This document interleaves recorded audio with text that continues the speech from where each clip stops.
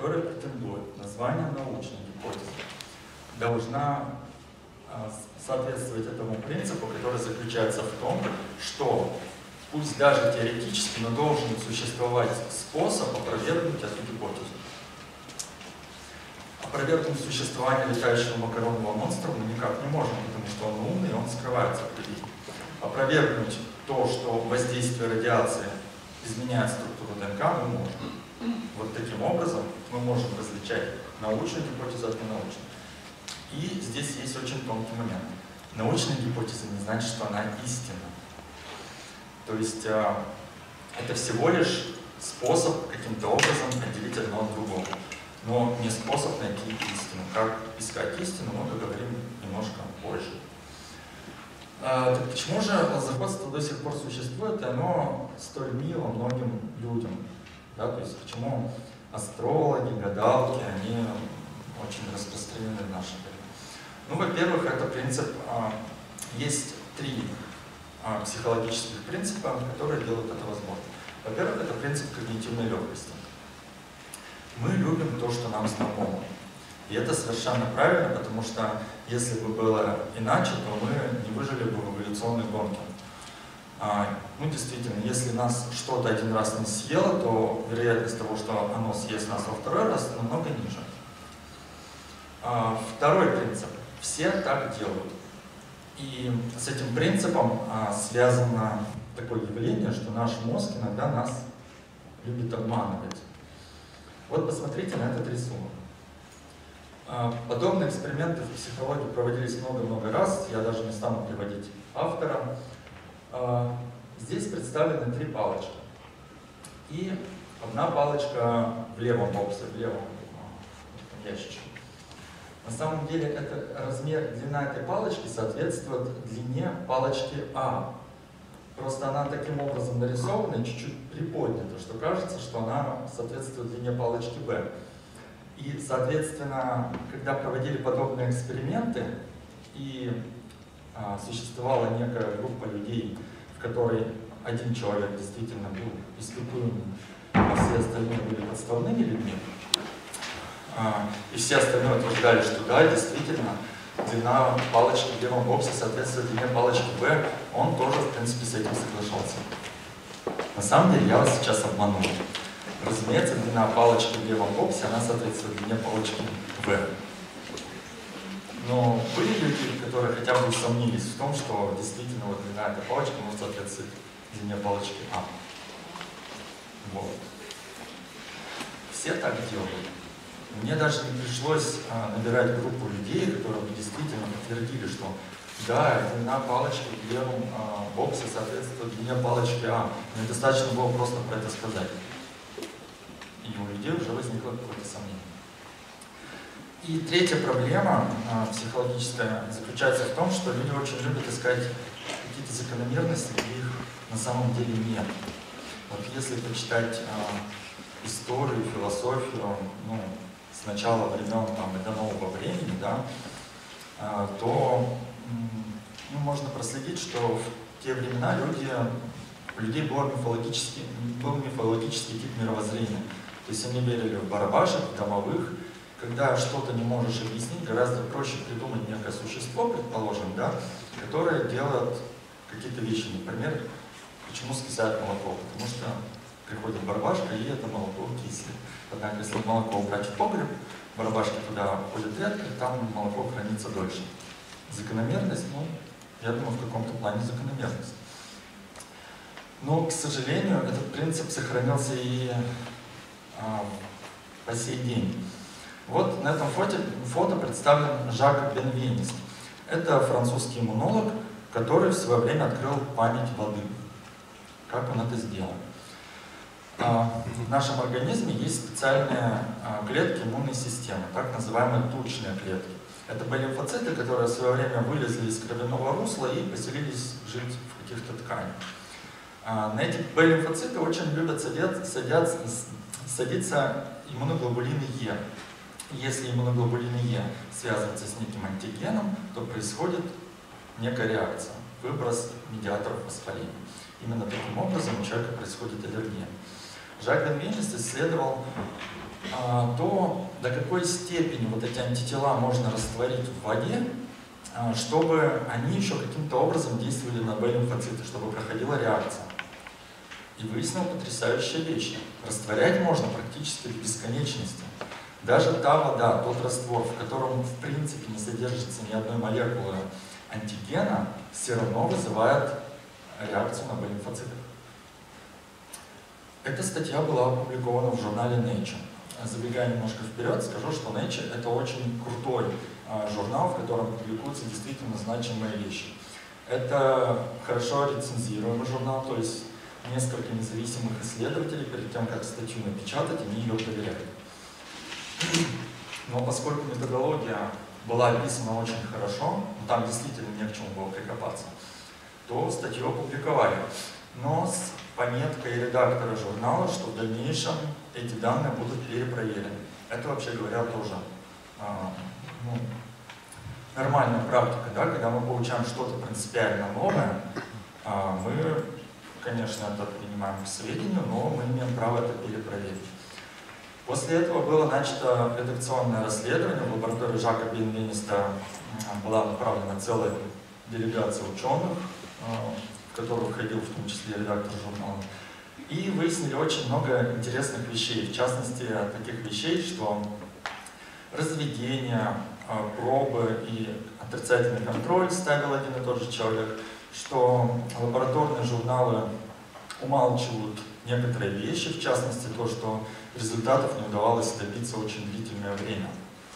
И то, что не всегда это работало. Но на самом деле стоило исключить всего лишь вот этот факт, стоило а, исключить одного человека, который проводил все эксперименты, и сделать эксперимент с любым. То есть человек, который наносил пробу, он не знал, где оно чистая вода, а где э, сверхраствор э, вот этих антигенов. И все, не, все перестало получаться. А, на сегодняшний день эта статья из журнала отозвана, она retracted, и, соответственно, память воды — это всего лишь это научная гипотеза, которая не подтвердилась. Хотя, а, по-моему, в России до сих пор подают живую воду, заряженную какими-то структурами. Я, честно говоря, не очень в курсе, но что-то такое есть. Итак, это было такое небольшое вступление. Сейчас, собственно, перейдем к самим мифам, которые мы сегодня будем рассматривать. Миф номер один. А, геномодифицированные организмы нас всех погубят.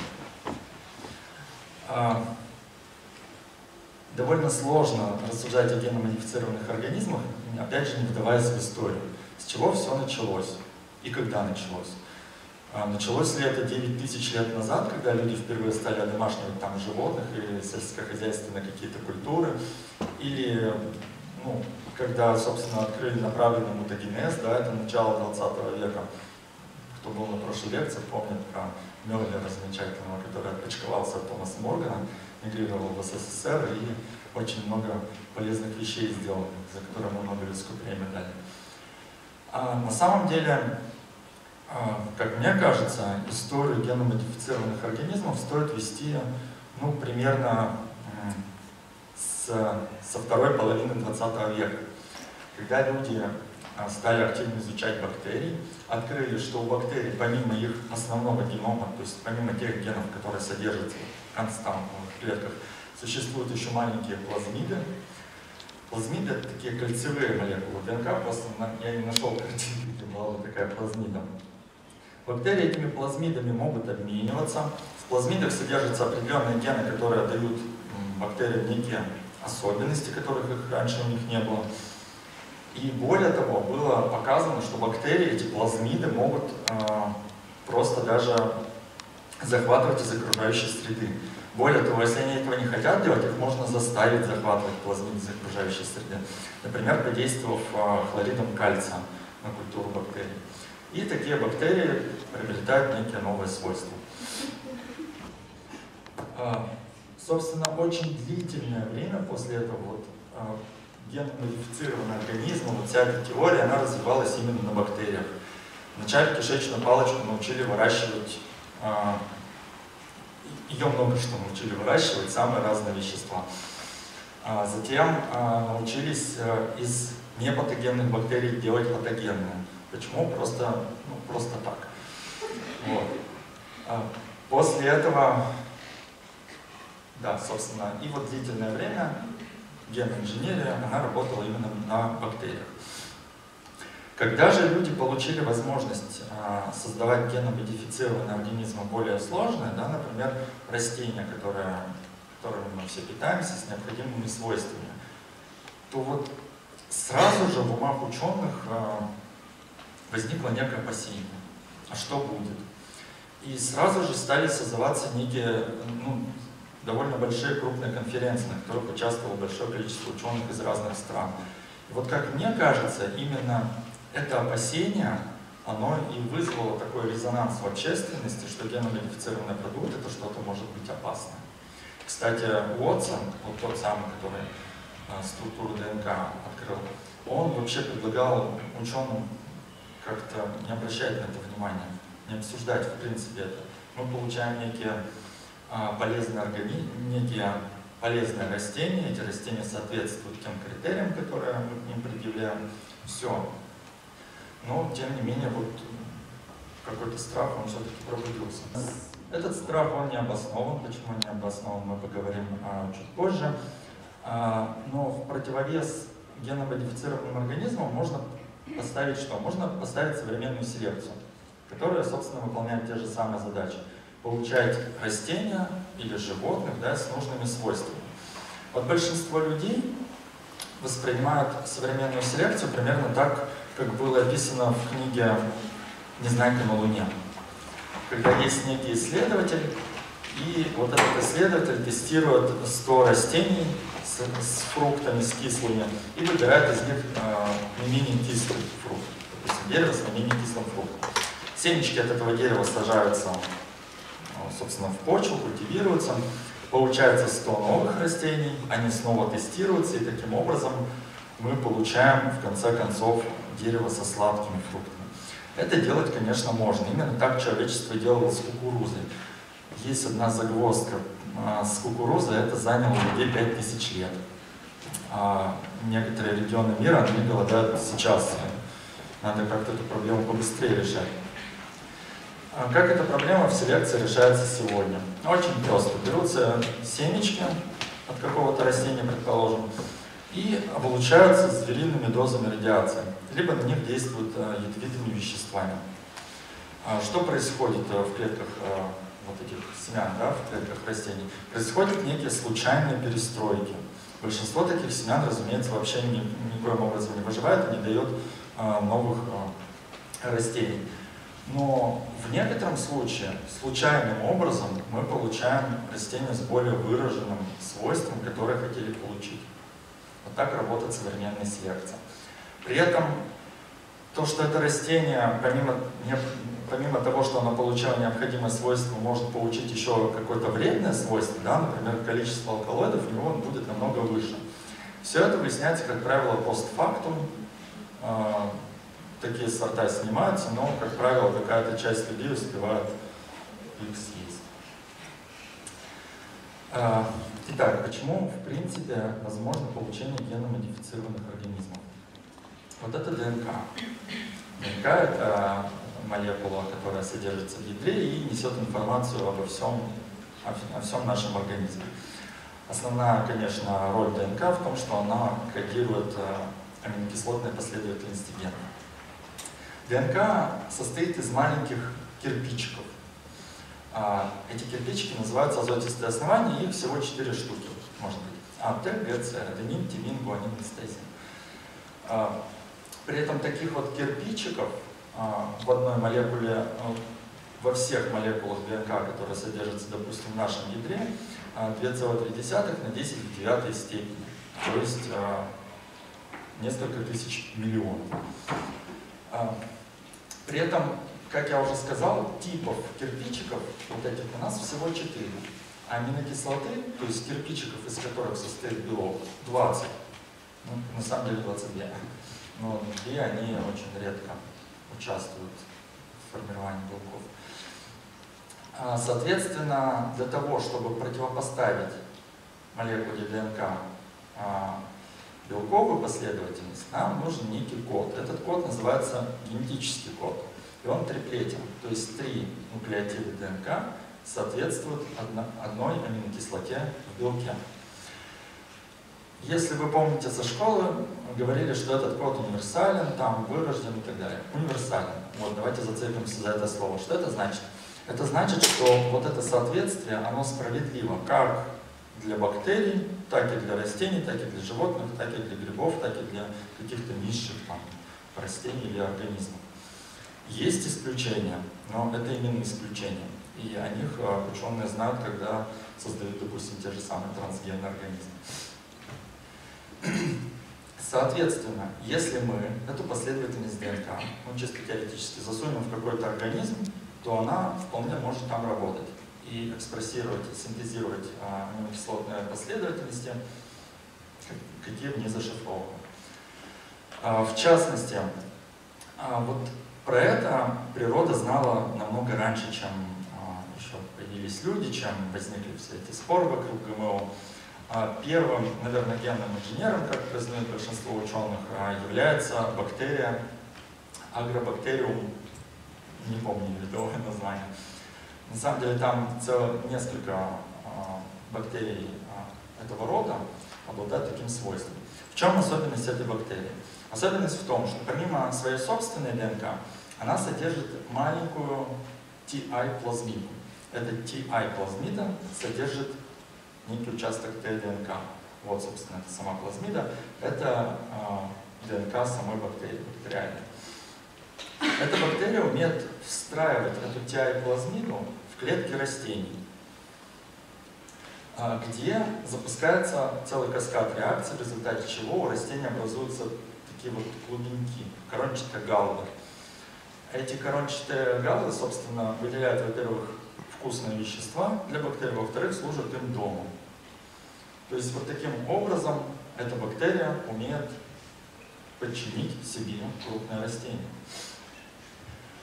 А, собственно, вот эти вот бактерии, рода агробактериум, они длительное время использовались а, генными инженерами для получения трансгенных а, растений.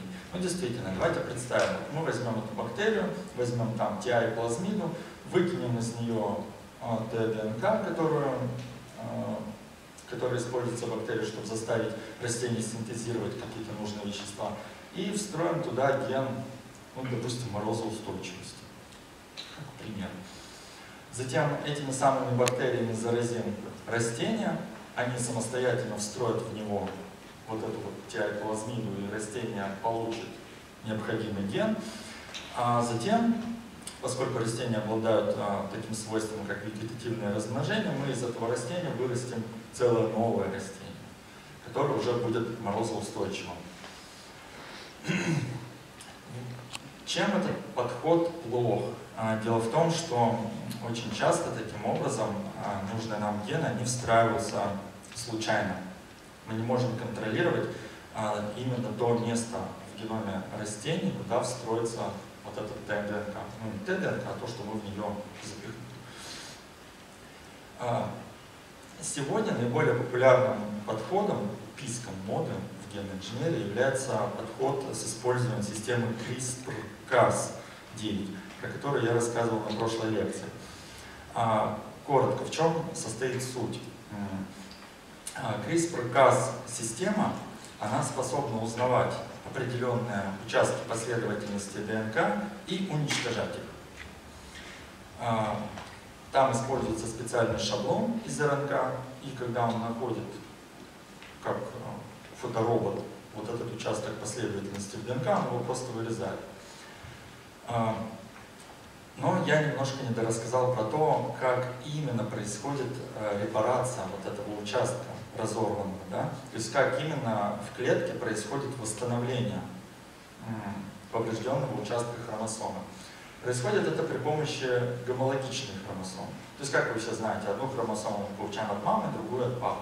Вот если мы повредили хромосому, доставшуюся нам от папы, то мамина хромосома, в кавычках, она будет использована для, для восстановления. А, но можно сделать еще хитрее можно засунуть в клетку вот эту систему CRISPR-Cas, которая уничтожит, допустим, негодные нам участки да, в геноме, и засунуть еще помимо этого некую матрицу, с которой будет происходить восстановление сразу обоих хромосом. И в этой матрице нам ничто не мешает, а, в эту матрицу нам ничто не мешает строить необходимый нам ген. Таким образом, мы, во-первых, будем точно знать, куда нужный ген строился, во-вторых, э, что он, он может строиться сразу в обе хромосомы.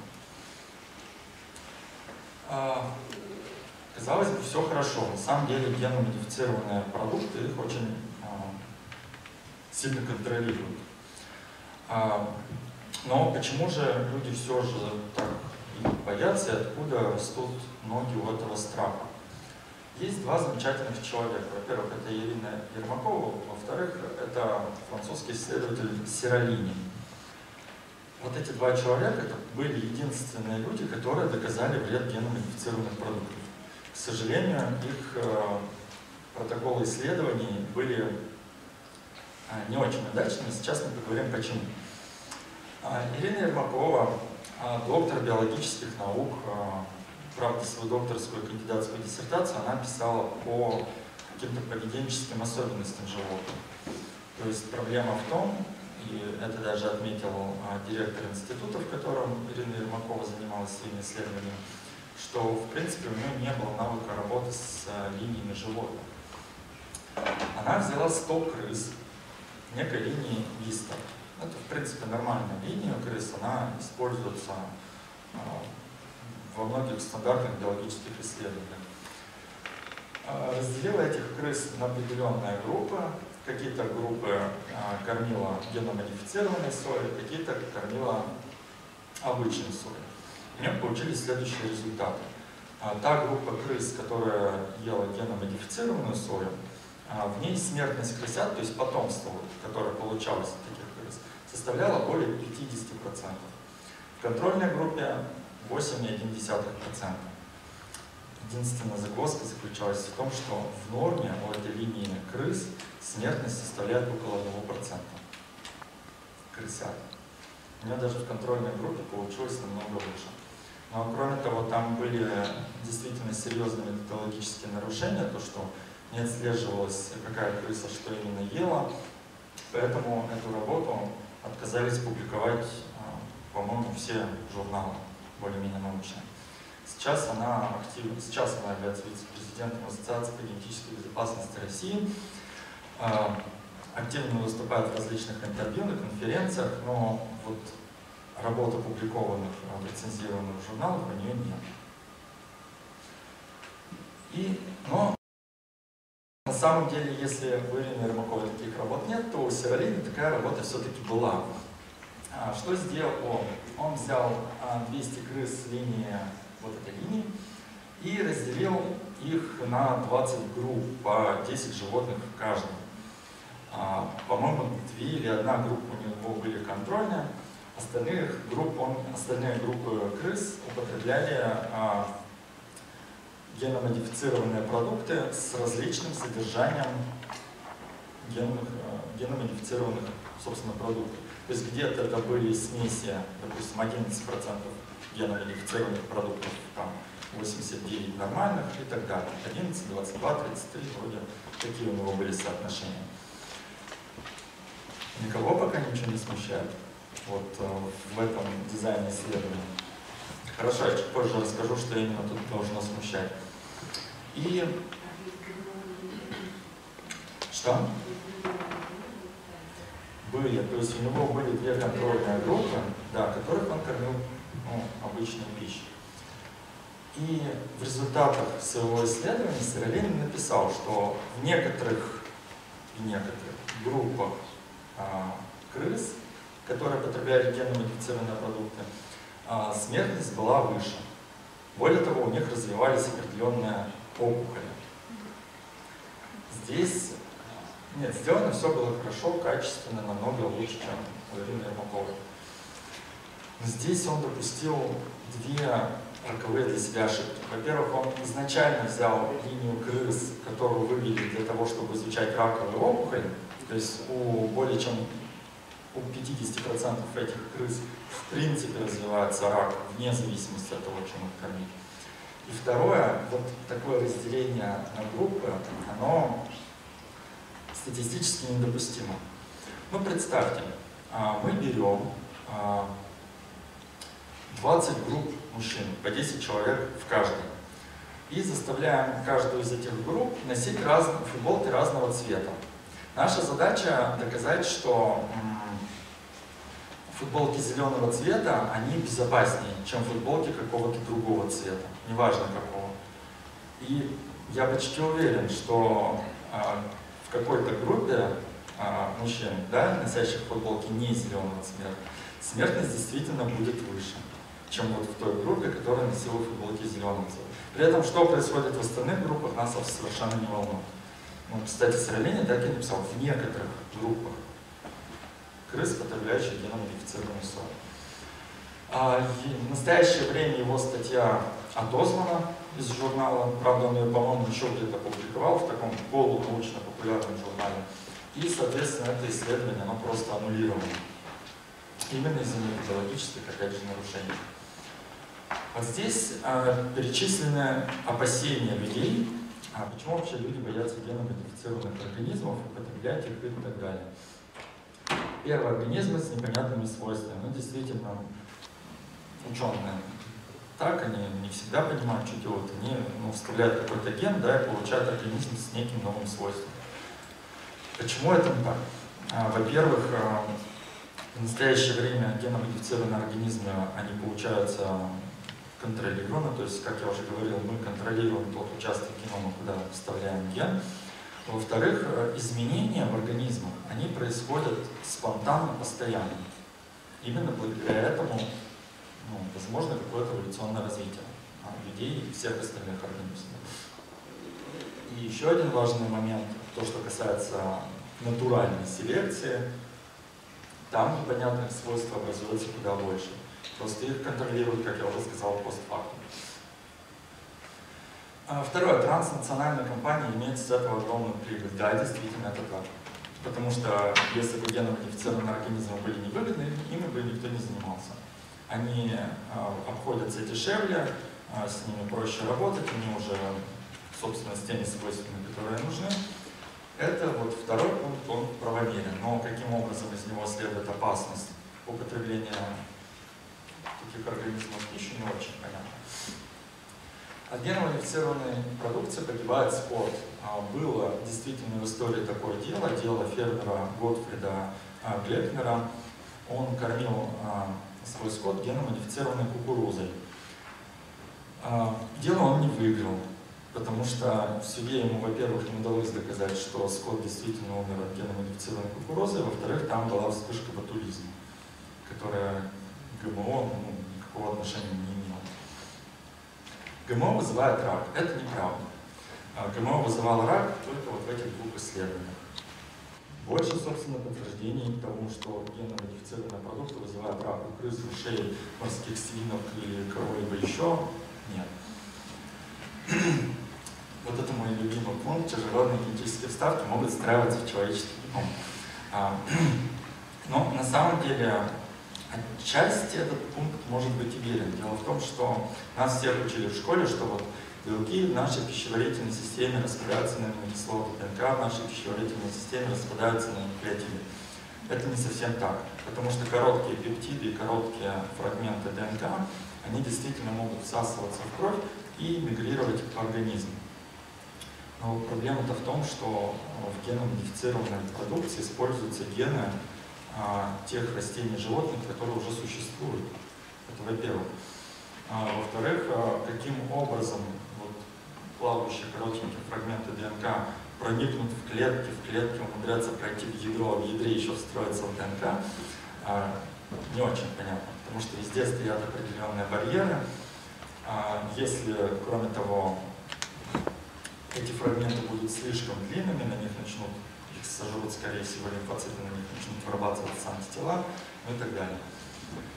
А, ГМО не увеличит прибыль фермеров в большинстве стран мира. Это неправда, потому что вот только в 2010 году а, прибыль фермерских хозяйств от использования генно продуктов а, выросла на 14 миллионов долларов всему миру.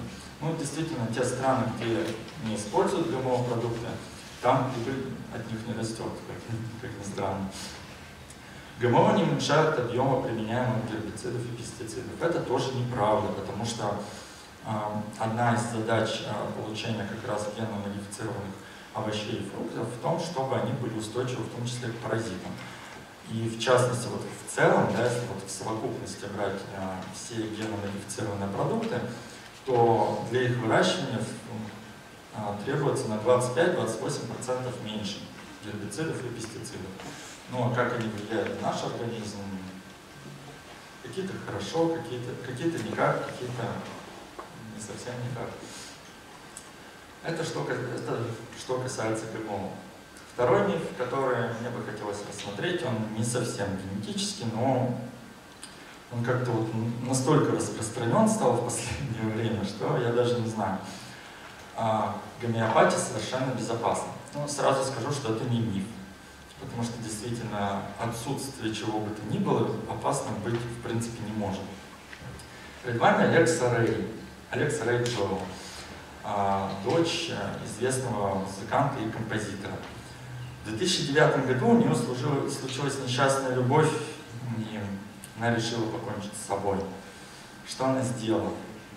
Она выпила 30, а, по-моему, таблеток траумела, и где-то через час почувствовала недомогание. У нее выступил пот, начали трястись руки. Она позвонила в 911, приехали, собственно, врачи, а, посмотрели на нее и уехали. Дело в том, что она пыталась покончить с собой при помощи гомеопатического средства. Это, наверное, единственный случай в истории, когда гомеопатия действительно спасла жизнь человека. Кстати, я бы очень много дал за то, чтобы посмотреть на лица врачей, которые приехали ее спасать, потому что как бы, ну, человек в таком тяжелом состоянии, психологически не имею в виду, а тут надо еще сдерживать свои эмоции. Итак, почему гомеопатия не работает? Почему она безопасна? А, совсем коротко так. Если вы когда-нибудь решите вступить в спор а, с человеком, который придерживается идеи о том, что гомеопатические таблетки помогают, достаточно запомнить всего лишь вот это число. 602 на 10 23 степени. Что же это за число? Кто-нибудь помнит? Число Лагарда, правильно. А что означает? Ну, я все-таки поясню, что, что же это за такое число. А, все дело в том, что вот, а, атомы да, и молекулы, из которых состоят все вещества, они, в принципе, это материальные, правда, очень маленькие, весят очень мало. Электроны, ну, ими можно вообще пренебречь, будем считать, что они вообще ничего не весят. В основном весят нейтроны и протоны, то есть ядра а, атомов. Так вот, а, протоны и нейтроны весят ну, примерно одинаково. 1,67 э, на 10 минус 24 степени грамма. Соответственно, а, в одном грамме вещества, совершенно неважно какого, воды, а, песка, спирта, уксуса, а, содержится одинаковое количество нейтронов и протонов. Я не буду тут выводить, каким образом это получается, но это количество равно вот этому числу. А, также еще в химии есть такое понятие, как моль. Один моль вещества – это как раз а, то количество вещества, которое содержит вот такое количество а, частиц. Теперь предположим, что у нас есть стакан спирта, очень чистого, этилового. И в нем содержится, ну поскольку спирт содержит два атома углерода, 6 атомов водорода и один атом кислорода, то вот такое количество этих частиц спирта будет весить уже больше, он будет весить 46. Ровно такое количество, суммарное количество протонов и нейтронов содержится в одной молекуле этилового спирта. Теперь, предположим, у нас вот есть эти 46 граммов чистого этилового спирта, мы хотим этим спиртом напоить а, огромное количество людей. А поскольку гомеопатия утверждает нам, что эффект тем выше, чем выше разведение, мы начинаем этот спирт э, разводить э, в отношении 100 к 1. То есть берем одну, один объем спирта и добавляем 100 объемов воды. Это так называемое первое разведение. В таком объеме, в таком стакане разведенного спирта будет содержаться уже, конечно, меньшее количество частиц спирта. В 100 раз меньше, то есть на 10-21 степени. И так мы проделываем много-много-много раз. Так вот, уже на 14 разведении, ну, пусть даже на 13 вероятность того, что у нас в стакане будет хотя бы одна молекула спирта, составляет 0,6%. А в гомеопатических средствах используется 200-сотенное разведение. То есть там эта вероятность 0, много нулей и какое-нибудь число того, что содержится хотя бы одна молекула вещества. Вот в частности, если вам будет интересно, а, можете посмотреть, сколько молекул активного вещества содержится в таких таблетках, как ацилококцины, которые некоторые люди употребляют э, от, простуды, да, по-моему, простуду. Тем не менее, а, гомеопатия шагает по стране почему-то, хотя она совершенно неэффективна. А, вот, э, в частности, вырезка из э, приказа Минздравмедпрома РФ аж 95 -го года об использовании метода гомеопатии в практическом здравоохранении. На самом деле, вот эту организацию, ее расформировали, это ведомство. А, частично оно дошло к Минздраву, частично к Министерству промышленности. Но я специально очень много времени потратил на то, чтобы узнать судьбу вот этого приказа. А, его отменили или что с ним произошло. Нигде ничего не написано. Из этого а, к своему ужасу я делаю заключение, что по сути этот приказ действующий в настоящее время. Хотя, может быть, я чего-то не знаю. Так вот, в приложении 4 к этому приказу а, есть перечень тех субстанций, которые гомеопаты имеют право использовать в России. Обратите, пожалуйста, внимание, вот, может, кому не видно, паук-птицеед или птицеед настоящий. Все насекомое, в скобочках. Кого? Никого ничего не смущает. Ну, хотя бы должно смущать то, что паук это не насекомое, и никогда им не был. А, из этого можно еще раз сделать вывод о биологическом знании вот, людей, которые занимаются гомеопатией. Паук, крестовик или крестовик обыкновенный, это все насекомое. Ну, как так-то? Ну ладно. А, кроме того, там есть еще очень много а, интересных вещей, например, рвотная сыроежка, бледная поганка. А, Все это гомеопаты, собственно, могут использовать в своих лечебных практиках в России. На самом деле, как бы шутки шутками, но в медицинской практике, да, и в фармакологической практике есть вполне конкретные критерии – каким образом определить, действует какое-то вещество, либо не действует, лечит нас таблетка или не лечит. А, для этого проводятся двойные слепые, рандомизированные, плацебо-контролируемые исследования. Причем здесь важно каждое слово. Плацебо-контролируемое. То есть, а, по сути, вот, должно быть три группы испытуемых. Первая группа – это контрольная группа, которая не получает никакого лечебного средства. Вторая группа – это те, которых мы кормим пустышками, плацебо-пустышки. И третья группа – это та группа, которая получает некий новый препарат. А что значит рандомизирование? Это значит, что люди должны совершенно случайным образом попадать в каждую из этих трех групп. То есть максимально нужно исключить э, человеческий фактор потому что ну, врачи все-таки работают с пациентами, они могут постараться в плацебо-группу, допустим, не а, засунуть самых э, тяжело больных или, допустим, самых богатых людей. Да? И двойные слепые. То есть ни пациенты, ни даже врачи не должны знать то, чем кормят больных людей. И только результат такого анализа может считаться э, достоверным, и из него могут следовать какие-то выводы, а действительно, а том, как бы действует конкретное вещество или не действует на больных.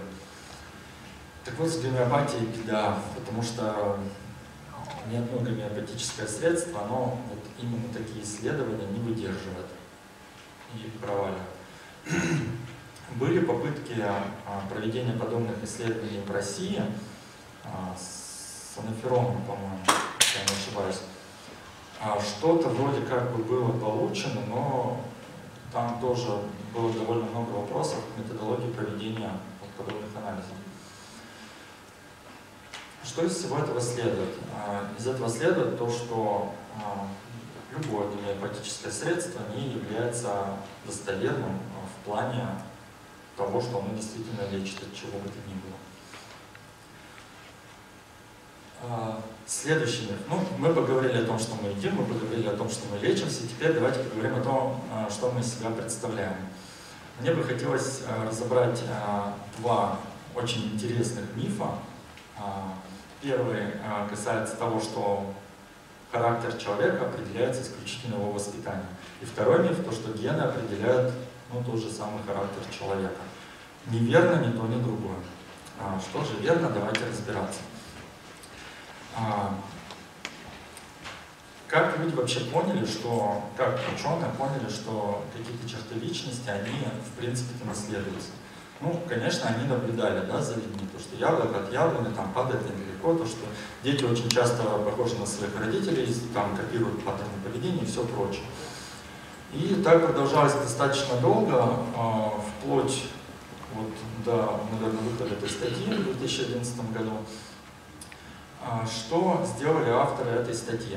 Они взяли 5 и 9-месячных детей и сделали с ними очень интересные вещи. А, да, сразу скажу, что все эти исследования были одобрены этическими комитетами, что в самих исследованиях также участвовали родители детей, которые могли в любой момент прекратить эксперимент без объяснения причин. Поэтому ни один ребенок ни физически, ни морально не пострадал. Детям показывали две сценки. А, был кролик, ну, сценка номер один. Есть некий кролик, и этот кролик пытается из коробки вытащить мячик. А, при этом к нему попеременно подбегают две собачки. Синяя собачка, наоборот, закрывает ящик и не дает кролику вытащить мячик.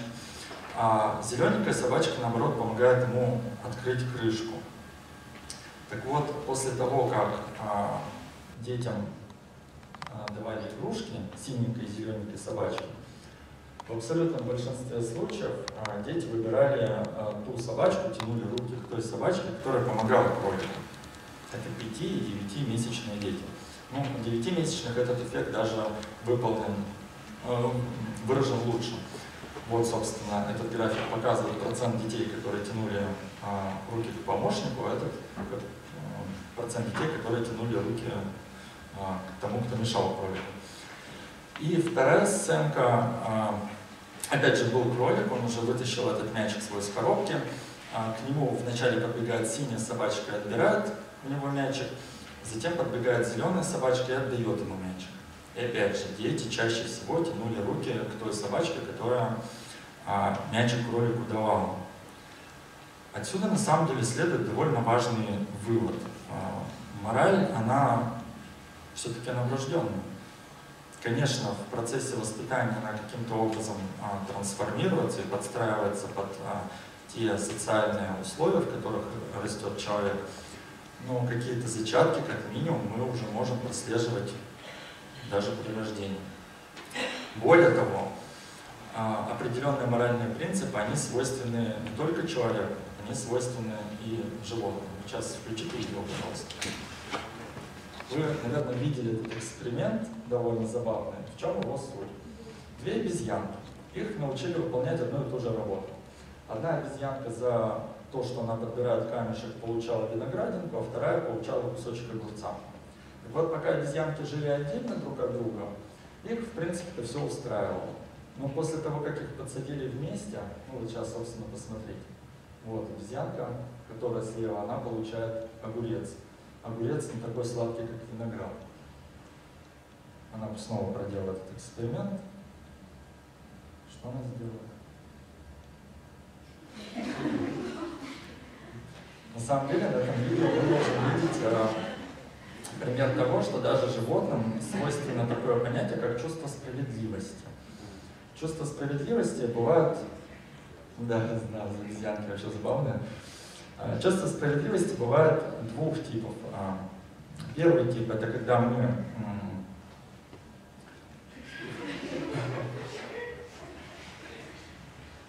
когда мы э, недовольны тем, что получаем хотя бы ту же самую неравную плату да, за работу, которую, казалось бы, выполняем одинаково. И второе, чувство справедливости второго порядка, это, собственно, когда мы а, отрицаем большую плату. Если нам дают больше денег, допустим, за ту же работу, а, которую мы выполняем со своим товарищем, а товарищу за это платят меньше. Ну, сразу скажу, что ну, вот пример чувства справедливости первого порядка у обезьян. А, чувство справедливости второго порядка у животных, э, по-моему, описано не было. Где-то я вот краем уха слышал какие-то заметки, но конкретных статей мне найти не удалось. Ну, давайте будем честными, но у людей встречается не очень часто, да? Редко кто из нас отказывается от денег, если там, коллеги или товарищи платят меньше. Так вот, это все некие предпосылки. Мы видим, что какие-то моральные принципы вырождены, мы видим, что какие-то а, ну, моральные чувства, вообще говоря, свойственны животным тоже. Как нам теперь все это рассмотреть с точки зрения науки? Как вообще с точки зрения генетики понять, наследуемый какой-то признак или нет? Все это делается при помощи так называемого близнецового анализа. Дело в том, что близнецы, они бывают двух типов. Это однояйцевые близнецы, которые развиваются из одной оплодотворенной яйцеклетки, и двуяйцевые или дизиготные близнецы которые развиваются из двух разных яйцеклеток. То есть, по сути, дизиготные близнецы — это те же самые братья и сестры родные, как обычно, да? Просто они рождаются вместе, они выращиваются примерно в схожих условиях, поэтому э, факторы внешней среды на них влияют несколько больше, да? потому что ну, люди разного возраста, это все-таки разные поколения, меняются там, судьбы, э, социально-экономическое положение и все прочее. А что тут важно увидеть? То, что монозиготные близнецы, они идентичны на 100%. То есть у них одинаковый геном. На самом деле это тоже не очень так, но не будем вдаваться в дебри. И дизиготные близнецы, они разделяют около 50, имеют около 50% общих генов. А, так вот, а для того, чтобы понять, насколько какой-то признак наследуем, используется так называемая формула Хольцингера. Вот она здесь представлена. Вот это вот означает процент э, конкордантности монозиготных близнецов. То есть, если один близнец обладает каким-то свойством, какой процент а, других близнецов, его братьев да, или сестер, будут обладать этим же самым свойством. А, конкордантность по дизиготным близнецам. Вот, собственно, при помощи этой формулы можно а, выяснить наследуемость того или иного признака. А, в настоящее время в учебниках по генетике принято следующее правило. Я, честно, искал, кто, как, когда вел эти правила, но вот что-то не смог пока что докопаться до истины. При наследуемости больше 70% или 0,7 мы постулируем, что а, в проявлении какого-то признака преобладает наследственный фактор. То есть все решает генетика. При наследуемости от 50 до 70% мы постулируем, что как внешние факторы, так и факторы внешней среды вносят вклад, и меньше 50% преобладает средовой фактор. Ну, два классических примера, да, это группа крови и какое-то инфекционное заболевание. Это вполне а, конкретное достоверное данное, а, что группа крови у монозиготных близнецов на 100% всегда совпадает. А, соответственно, наследуемость этого признака единица. Группа крови определяется исключительно наследственным фактором. И инфекционное заболевание. Вот если подставить числа, можно видеть, что наследуемость там 31%. То есть мы постулируем, что преобладают э, внешние факторы. Откуда берется вот этот 31%? Ну понятно, что э, близнецы очень часто живут вместе. Очень часто вместе болеют какими-то э, заболеваниями. Так вот, рассмотрим наследуемость способностей. В настоящее время было выяснено, что математика, успешность в математике наследуется на 66%. А, то есть, если один из близнецов, а, допустим, преуспевает в математике, выступает на Олимпиадах, то, скорее всего, второй а, с такой вероятностью также будет в этом деле преуспевать. Чтение. По чтению, к сожалению, исследовались именно проблемы, то есть затруднение чтения, там, непонимание слов. Наследуемость носит вот такой характер, она более, причем выражена у девочек. И коэффициент интеллекта. С интеллектом вообще очень интересная история. Во-первых, а, научные публикации, которые а, посвящены вот исследованию IQ а, у людей, они находят различия очень небольшое, то есть буквально там на 2-3 балла. Из этого можно сделать вывод, что в принципе это коэффициент интеллекта не наследуем. Но самое интересное, что схожесть вот этих коэффициентов близнецов, она возрастает, она повышается с возрастом. То есть если у детей по большей части на интеллект влияют именно внешние факторы, то у школьников младших классов наследованность уже 60%, а у взрослых 80%. То есть с возрастом именно генетика э, вступает в свои права и говорит, насколько человек будет интеллектуально развит, как это ни странно. А, есть еще другое объяснение, может быть оно тоже правильное. Дело в том, что у детей, у них а, границы нормы несколько шире, а, чем у взрослых людей. Это касается очень многих вещей, да, то есть роста, там, каких-то спортивных достижений всего прочего. Возможно, именно этот факт также вносит лепту здесь. То есть дети, они варьируют в более широких пределах, нежели взрослые. И еще один миф, а, который, по-моему, даже был заявлен там в анонсе сегодняшней лекции, это то, что все мутации вредны. А, абсолютное большинство изменений, которые происходят в нашем геноме, оно никоим образом не проявляется. А, кстати, как вы считаете, вот у нас есть ДНК, да, 2,3 на 10 в девятой степени. Когда клетки делятся, ДНК, соответственно, тоже делится. Из одной молекулы получается две. Какое количество ошибок происходит при одном делении клетки? Кто-нибудь может предположить? Примерно одна. А, Все дело в том, что в нашем организме, помимо а, ферментов, которые занимаются репликацией ДНК, существует так называемая система репарации. Когда ДНК полимераза, фермент, который одной цепочки делает две, ошибается, а, эта система специальным образом эти ошибки устраняет. У бактерий, кстати, у вирусов она отсутствует. Именно поэтому вирусы мутируют с бешеной скоростью. Там вообще ничего не справляется. Так вот, о мутациях. Как я уже сказал, большинство мутаций никак не влияет на нашу жизнь и на нашу внешность, на наше поведение, ни на что. Но есть а, ряд мутаций, которые действительно дают людям, можно сказать, суперспособности. А, во-первых, это мутация в гене миостатина. Миостатин – это ген, который сдерживает рост мышечных клеток.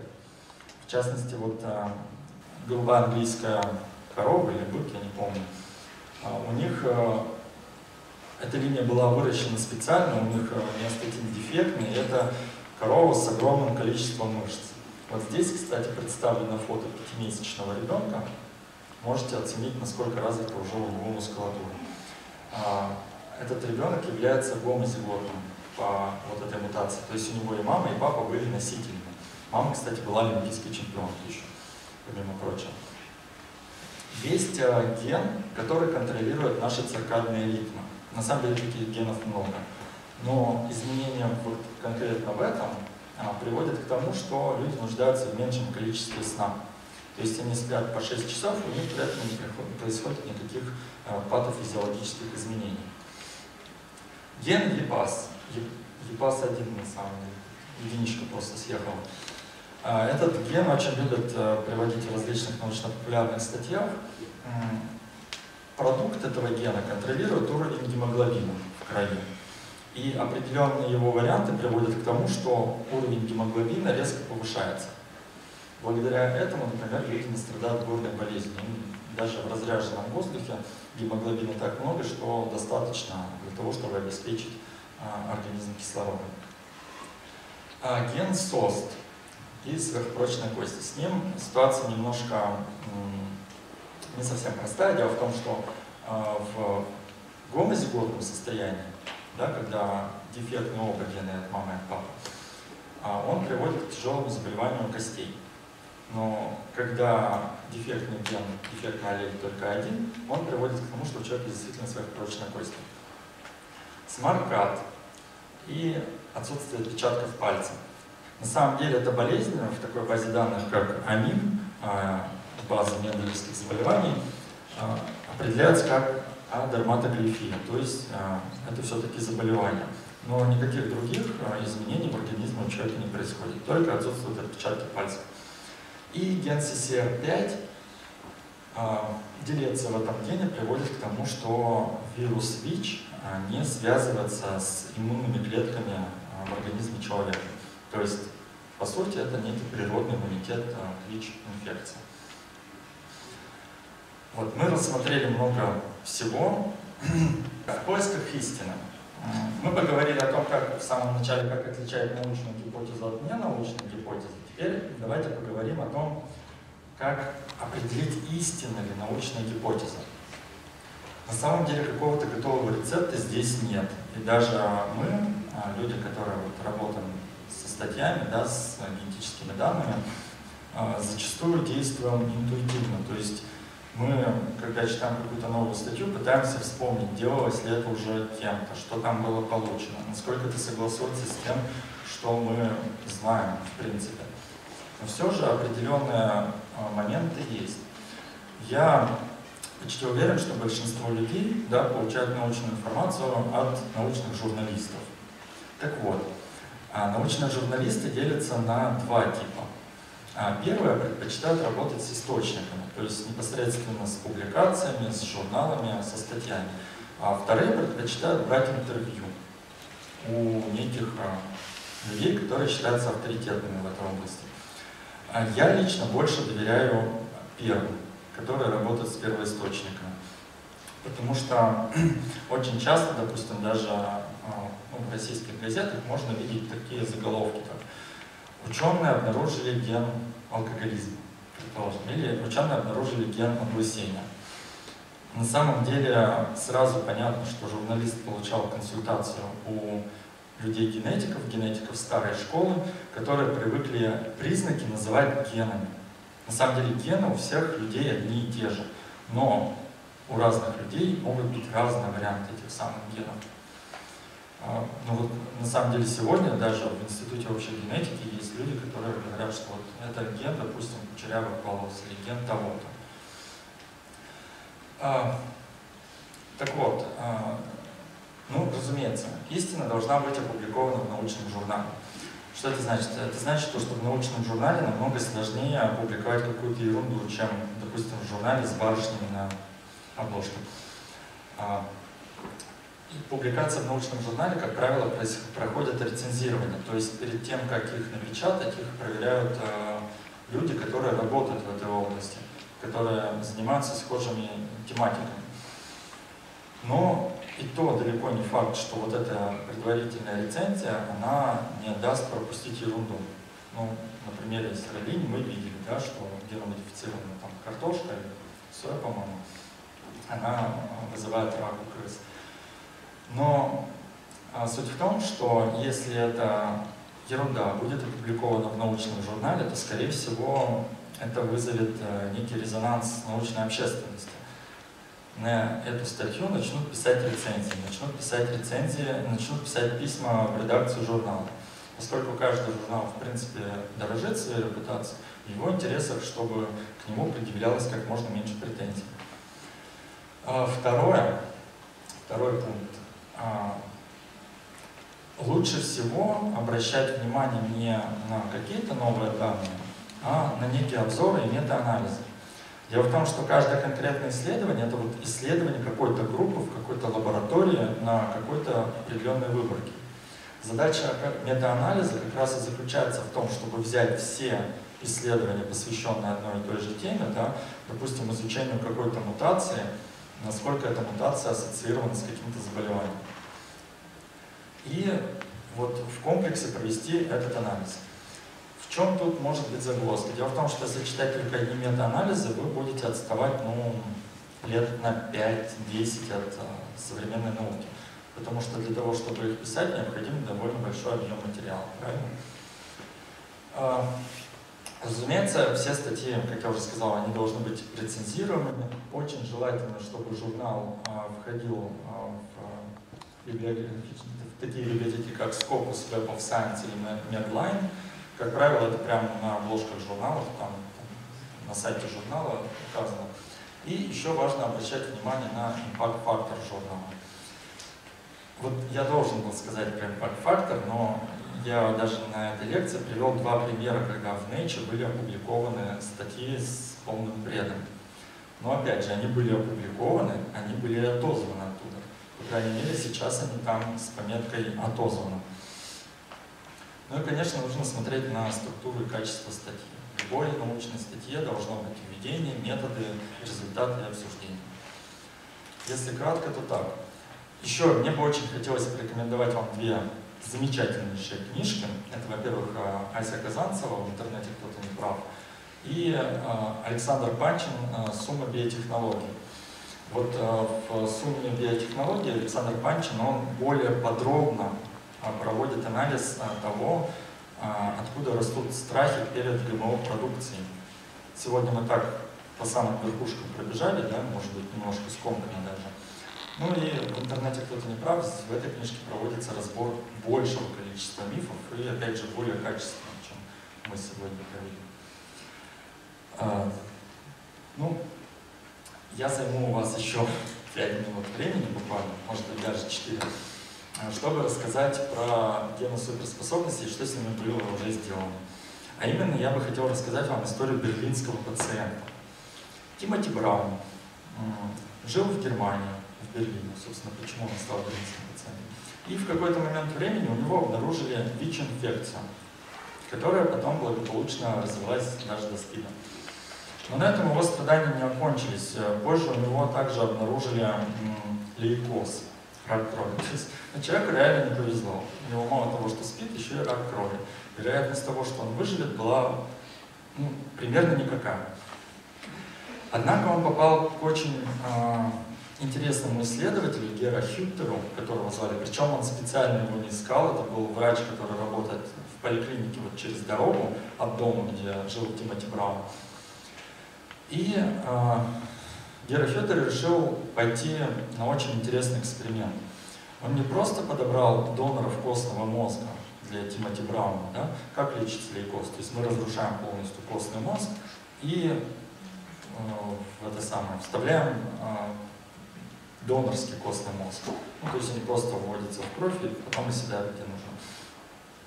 Так вот, а, врач нашел для этого пациента аж 80 а, доноров, что уже само по себе чудо. Но а, врач не взял первого попавшегося донора, а стал их всех тестировать на наличие вот этой мутации, CCR5. Невероятно. Но среди них нашелся один человек, который был гомозиготный по CCR5 делеции. То есть его клетки крови не были восприимчивы к ВИЧ-инфекции. Тимоти Брауну сделали две пересадки костного мозга, и все, собственно, на этом он, во-первых, вылечился от рака крови, во-вторых, через какое-то время вирус ВИЧ у него просто перестал появляться в крови. Когда все это стало исследование, более, известно, более 60 лабораторий, раскиданы по всему миру, стали исследовать кровь, сперму, кал, спинномозговую жидкость Тимоти Брауна ни одна лаборатория не могла ну, найти там ВИЧ. В настоящее время Тимоти Браун жив-здоров, он работает в Америке. Эта история кардинально, разумеется, изменила его жизнь, и сегодня он является основателем фонда Тимоти Брауна, все деньги от которого идут на исследование ВИЧ-инфекции. Всего на этом спасибо.